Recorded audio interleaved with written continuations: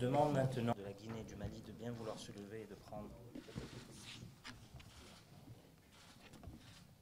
et de pouvoir bien mettre face caméra, s'il vous plaît, le résultat de ce tirage.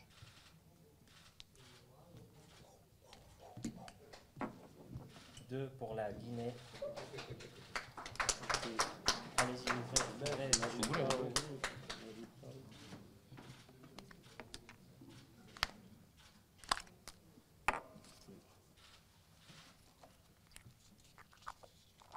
Et pour bien donc confirmer la position afin d'affronter le Ghana à Malabo le 1er février prochain.